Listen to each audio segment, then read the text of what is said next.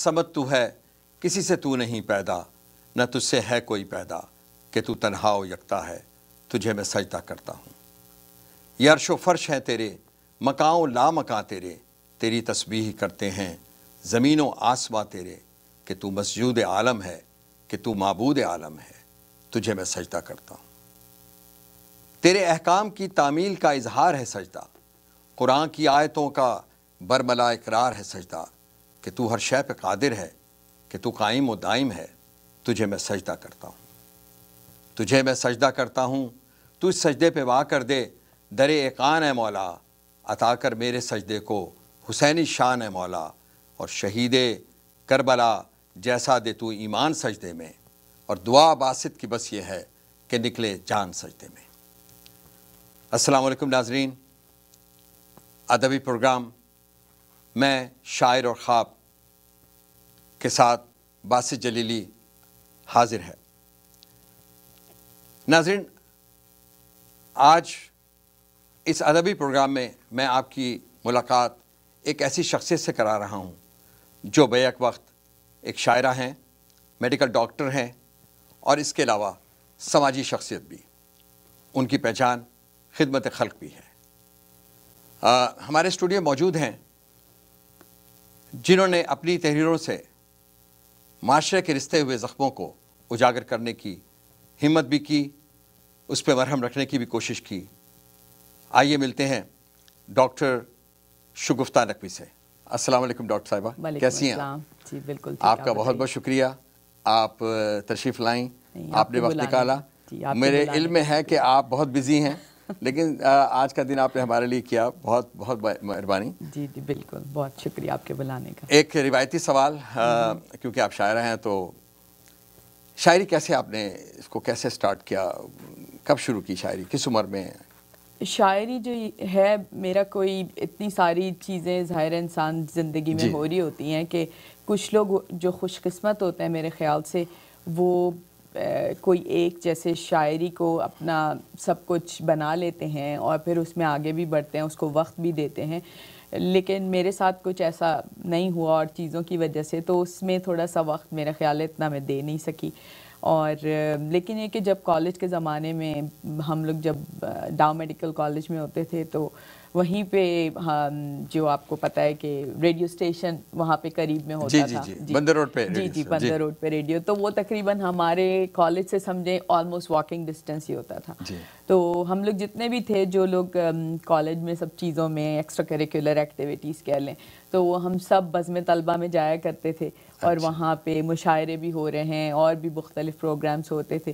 تو اس سے پھر یہ سب مطلب آپ کو تحریک ملی اور پھر آپ نے بالکل بالکل۔ اور پھر یہ کہ وہاں سے ہمیں نہ صرف یہ کہ وہ اس زمانے میں آپ یقین کیجیے ریڈیو اسٹیشن جو تھا ایک ادارہ ہوا کرتا تھا۔ But it was not just کہ آپ جائیں ریکارڈ کرائیں اور آ جائیں ہمیں وہاں سے کس طرح بات کرنی ہے شاعری کیا کرنی ہے کیا کیا اس کے یو نو چھوٹی چھوٹی چیزیں جو آپ کو دیکھنے کی ہوتی ہیں رولز کیا ہوتے ہیں مطلب ہم نے بہت سیکھا ہے رولز آپ نے سیکھا ہوگا وہاں پر جب آپ لوگوں سے اٹھی بیٹھے بالکل تو وہ اس لیے ہم ہمارا ایک طرح سے وہ ایک اکیڈمی ہمارے لیے ہوا کرتی تھی۔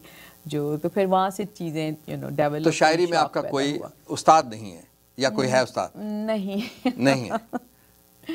میرا خیال ہے اس حد تک شاید پہنچے نہیں کہ کوئی ہے نا جو لوگ میرے خیال ہے بالکل لگ کے کرتے ہیں ایک چیز جی تو جی۔ پھر یہ کہ وہ یہ بھی کرتے ہیں کہ کوشش کہ بھائی کوئی استاد ہو اور اس میں زیادہ ٹائم دیا جائے اور لیکن میں نے آپ کی نظمیں سنی ہیں ماشاءاللہ بہت اچھا لکھتی ہیں۔ تو اس شاعری ڈاکٹری اور خدمت خلق کو تو پھر آپ کس طرح بیلنس کر رہی ہیں؟ آج کل جو آپ کس طرح بیلنس اس کے ساتھ ایک گھر بھی کر دیجیے بالکل ایک گھر بھی آپ جی جی۔ تو وہ چاروں چیزیں ایک ساتھ ظاہر ہے مشکل تو ہو جاتا ہے کیونکہ یہاں پہ اسی وجہ سے وہی وجہ ہے کہ اس وجہ سے اس چیز کو میرا خیال اتنا ٹائم نہیں مل سکا۔ جی جی۔ جو کہ اگر اتنا سب کام نہ ہوتا تو شاید مل سکتا۔ تو یہاں پہ مین جو آپ کی بات ہوتی ہے ظاہر ہے کہ کام ایک اور پھر ہمارا پروفیشن ایسا ہے کہ اس میں ہمیں واقعی وہ ہماری پرائیورٹی ہے۔ تو اس میں ظاہر سب سے زیادہ ٹائم دیا جاتا ہے۔ پھر ظاہر ہے کہ گھر بچے۔ اب اب یہاں سے ہم یہاں پہ ہیں تو اب ظاہر ہے جو ہم ایک ملک پیچھے چھوڑے بیٹھے ہیں۔ وجوہات چاہے کچھ بھی ہوں لیکن آپ کا ایک لگاؤ تو ہے۔ آپ کی جڑیں ہیں جڑیں وہاں ہیں جو لوگ وہاں رہ گئے ہیں ان ان کے لیے دل بھی دکھتا ہے۔ جو وہاں پہ حالات ہیں بچے جس طرح رول رہے ہیں سڑکوں پہ اور تو وہ ظاہر ہے کہ آپ کوشش کرتے ہیں کہ کسی بھی طرح ان کے لیے ہم یہاں سے بیٹھ کے جو بھی کر سکتے ہیں وہ کریں۔ اور پھر اتنے کام ہو رہے ہیں کہ وہاں پہ اسکول جو لوگ بنا رہے ہیں ہاسپٹلس مطلب اتنی ساری چیزیں اور یقین کریں اتنے ساری آرگنائزیشن بہت اچھا کام کر رہی ہیں۔ تو یہ کہتے ہوئے بہت مشکل ہوتا ہے کہ آپ کسی کو یہ کہیں کہ نہیں بھائی ہم یہ کیونکہ وہ ہر کام اتنا ضروری ہے کہ آپ اس کو نہ کیسے گئی ہے تو بس کسی طرح یو نو تو آپ اپنا حصہ ڈالتی ہیں اس کے اندر جو لوگ بھی کام کر رہے ہیں آپ اس میں جی جتنی کر سکتے جی، ہیں۔ جی۔ ظاہر ہے اس سے بہت زیادہ کرنی چاہیے لیکن چوبیس گھنٹے ہیں دن میں کیا کیا جائے؟ تو آپ یہ فرمائیے گا کہ وہ کون سے محرکات تھے جو آپ کو مجبور کیا کہ آپ اپنے ملک کو چھوڑ کے اس ملک میں آ گئیں؟ شروع میں تو آپ کو پتہ ہے جس زمانے میں ہم لوگ آئے تھے تب تو میرا خیال ہے واقعی اتنے برے حالات نہیں تھے جتنے کہ اب ہیں۔ جی جی۔ تو اس زمانے میں شاید اتنا اسٹرانگلی ہم نے یہ نہیں سوچا ہوگا کہ بھئی ہم آ کے واپس نہیں جائیں گے۔ لیکن اور پھر شروع میں تو بھائی پڑھائی کرنی ہے آگے پڑھنا ہے یہ سب چیزیں آپ کو لے کر آتی ہیں۔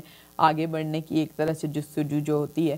لیکن پھر اس کے بعد جو وہاں کے حالات رہے کہ جو ایکچولی وہاں پہ لوگ ہیں ان کو بھی اب نکالنے کی ضرورت پڑ رہی ہے۔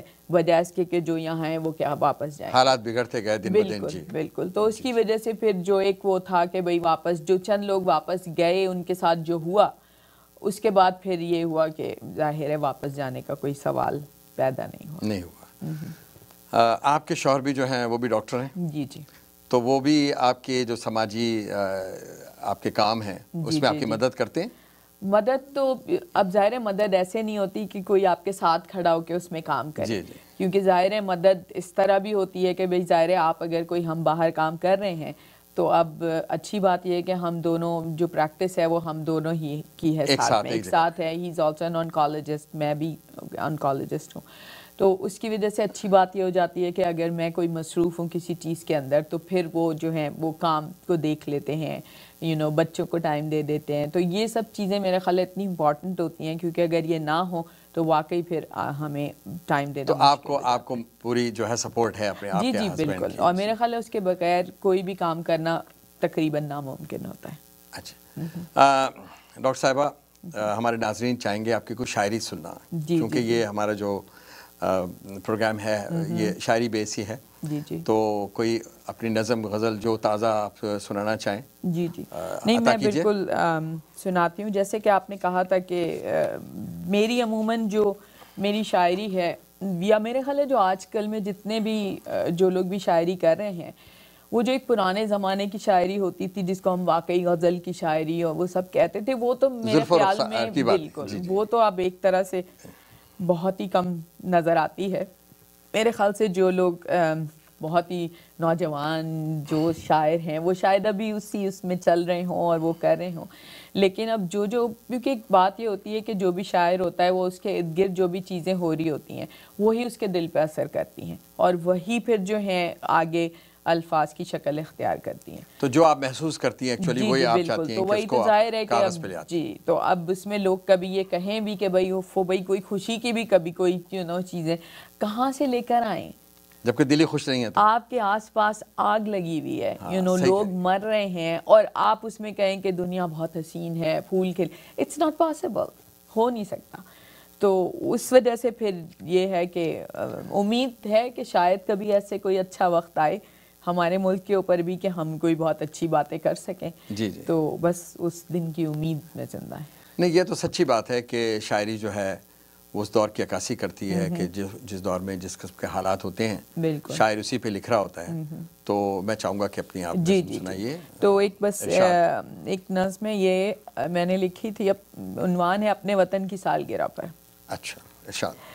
میں سوچتی ہوں میں سوچتی ہوں میرے وطن کے اجارہ داروں کی اپنے اہل قلم سے فرمائشیں عجب ہیں۔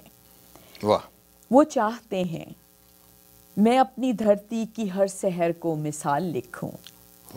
خزاں کی رت کو بہار جانوں۔ ہر ایک جانب لہو کے چھینٹے جوڑ رہے ہیں۔ انہیں نہ دیکھوں۔ جو دیکھ بھی لوں تو ان تو ان رتوں کو گلاب موسم کا سال لکھوں۔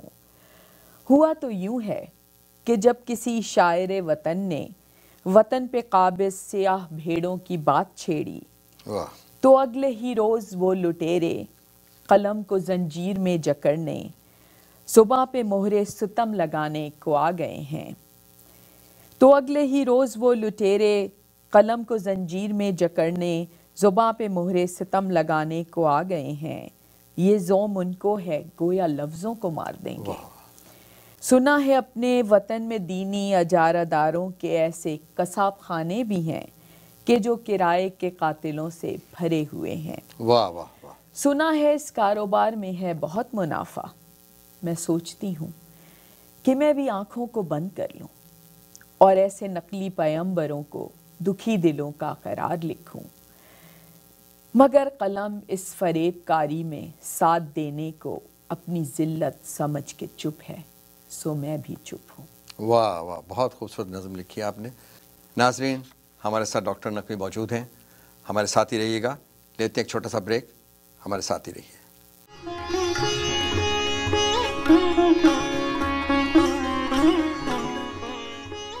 ویلکم بیک ناظرین۔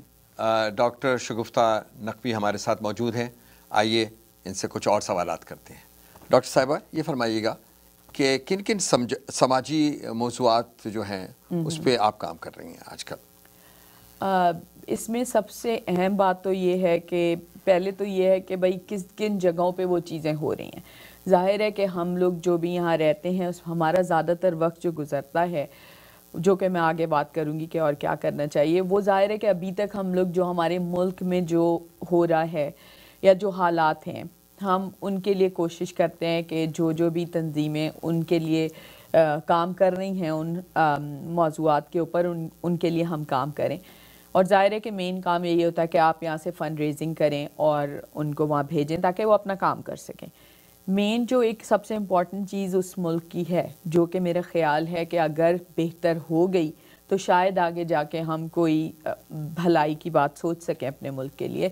وہ یہ ہے کہ ہمیں تعلیم ایجوکیشن ایجوکیشن جو وہاں، میرا خیال ہے اگر وہاں کے جو بچے اس وقت سڑکوں پہ گھوم رہے ہیں یا یہ کہ وہ سوسائڈ بامرز بنانے والے مدرسوں میں بیچارے پھنسے ہوئے ہیں یا نہیں جا رہے کہیں اسکول ان سب کو آپ نے نکال کے اگر اسکولوں میں ڈال دیا اور ان کو اچھی تعلیم دے دی، تو آپ یقین کریں جب یہ جنریشن آگے آئے گی، وہ ہی اس ملک کو بہتر بنا سکتی ہے۔ کیونکہ اس وقت ہم کیوں سفر کر رہے ہیں؟ کیونکہ اس وقت وہ جنریشن جس کو اس وقت اسکولوں میں ہونا چاہیے تھا وہ وہاں نہیں گئی انفارچونیٹلی جی۔ وہ ان ساری چیزوں میں ان جگہوں پہ پڑی رہی۔ تو اب ظاہر ہے اب وہ لوگ جو آگے آئیں گے تو وہ تو وہی کریں گے نا جو انہوں نے سیکھا ہے۔ ظاہر ہے۔ تو ظاہر ہے جب ان کو بتایا ہی یہ گیا ہے ان جگہوں کے اوپر کہ بھائی یہ سب کرو اور یو نو اڑ جاؤ بم بناؤ یہ سب۔ تو ظاہر ہے وہ یہی کریں گے۔ تو اگر ہمیں اس لیے میرے خیال سے تعلیم جو ہے وہ سب سے امپورٹنٹ چیز ہے اور جو ہماری وہاں پہ آرگنائزیشنس ہیں جیسے سٹیزنس فاؤنڈیشن ہے ٹی سی ایف جو یہاں پہ تقریباً ہر بڑے شہر میں امریکہ کے کینیڈا اور یو کے وغیرہ میں۔ اس کی برانچز ہیں، وہ لوگ پاکستان میں جو پاکستان کے گاؤں ہیں جہاں پہ اسکول نہیں ہیں، تو وہاں پہ اچھے اسکول، نہ صرف یہ کہ وہ صرف اسکول نہیں ہے، وہ بہت ہی اچھی جیسے آپ سمجھیں وہاں پہ کوئی بھی پرائیویٹ اسکول کی جو کوالٹی ہے، وہاں پہ اتنی کوالٹی ایجوکیشن دی جاتی ہے۔ تو وہ میرا خیال ہے ایک بہت امپورٹنٹ چیز ہے، جس کے لیے ہم سب لوگوں کو مل کے کام کرنا چاہیے۔ اور اچھی بات یہ ہے کہ ان ان چیزوں میں آپ اپنی زکوٰۃ وغیرہ بھی دے سکتے ہیں۔ تو میرے خیال ہے اس وقت وقت کی ضرورت یہ ہے کہ ہم اپنی زکوٰۃ اور وہ سب ان چیزوں کے لیے دیں وہ انفراسٹرکچر بنانے کے لیے۔ تو آپ اس بات کی تائید کرتی ہیں کہ وہاں پر نظام تعلیم کیونکہ مختلف ہیں آپ نے دیکھا ہی ہوگا کہ پرائیویٹ اسکول جو ہیں وہ ڈفرینٹ سلیبس پڑھاتے ہیں۔ مدرسوں میں کچھ اور پڑھایا جا رہا ہے۔ تو آپ چاہتی ہیں کہ ایک ہی نظام تعلیم ہو پورے بالکل وہ ہونے یہی چاہیے۔ سٹینڈرڈ تو آپ کا ایک ہی ہونا چاہیے جس طرح کہ امریکہ میں ہے۔ بالکل اور پھر یہ کہ وہ نیشنل مطلب انٹرنیشنل جو سٹینڈرڈز ہیں جو سب جگہ ہیں۔ جی۔ آپ کو بھی وہی اسی کو کوئی ضروری نہیں ہے کہ آپ اپنا ایک الگ بنا کے چل رہے ہیں ڈیڑھ اینٹ کی مسجد یو نو اس کی وجہ سے کیا ہے کہ وہ بچے جب آگے آتے ہیں اور دوسرے ملکوں میں جاتے تو پھر ان کو ظاہر مشکلات پیش آ رہی ہیں۔ تو اس وجہ سے وہی بچے جو کہ وہاں پہ پرائیویٹ اسکول میں اچھی ایجوکیشن لے رہے ہیں وہ پھر آگے آ کے بڑھ سکتے ہیں جو کہ بہت زیادتی کی بات ہے۔ اب ٹی سی ایف کی وجہ سے فائدہ یہ ہوا ہے کہ وہ بچے جو کہ ادروائز تو خیر اسکول ہی نہیں جا سکتے تھے۔ جی۔ ابھی جیسے ہوا تھا اس میں ایک ماشاءاللہ ایک بچی آئی تھی جو ڈاؤ میڈیکل کالج میں تھی وہاں سے اس نے گریجویٹ کیا۔ اس کے بعد اب وہ آگے یہاں پہ یونیورسٹی آف شکاگو میں پڑھ رہی ہے۔ ہارورڈ یونیورسٹی میں بچے گئے ہیں وہاں سے۔ تو یہ یہ ایک اچھی بات ہے کہ ادروائز وہ بچے تو کہیں بھی نہیں جا سکتے تھے۔ وہیں کے پرائیویٹ سکول اور وہاں کے کالجز میں نہیں جا سکتے۔ آپ دیکھیں کہ وہ اتنے انٹیلیجنٹ بچے تھے کہ ان کو تھوڑے سے یہ فائدہ ملا کہ بھئی ایک اسکول ہے تو وہ آگے کتنے آگے آ گئے۔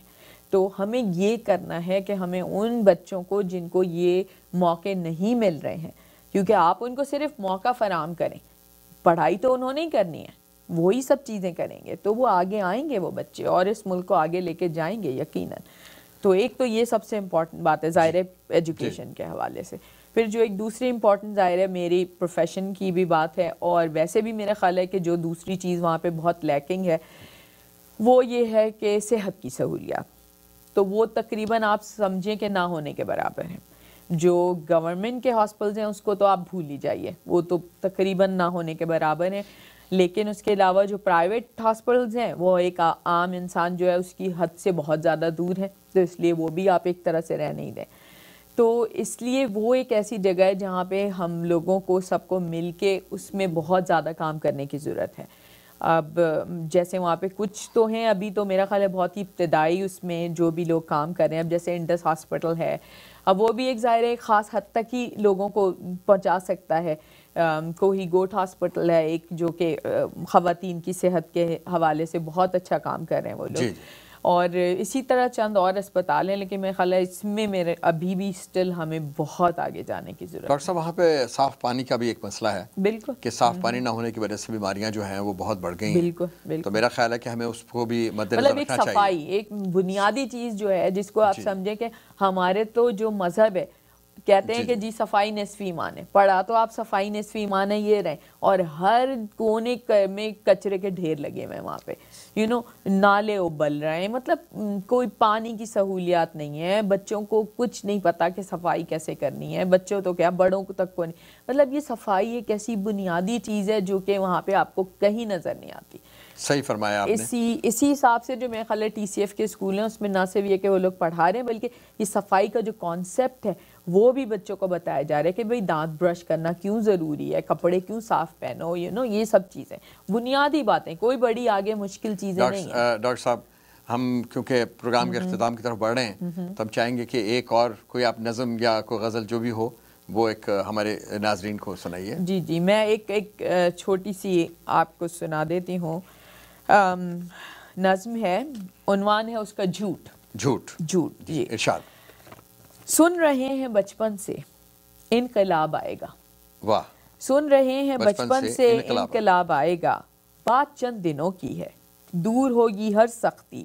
کٹ گریں گی زنجیریں۔ سر خوشی کی باہوں میں دل میں لائے جائیں گے۔ پھر کھلے سہن والے گھر بنائے جائیں گے۔ خواب سارے خوشیوں کے پھر سجائیں گی آنکھیں۔ روشنی سے رنگوں سے جھل ملائیں گی آنکھیں۔ انتظار میں جس کے زندگی بتا دی ہے۔ وہ لمحہ نہیں آیا۔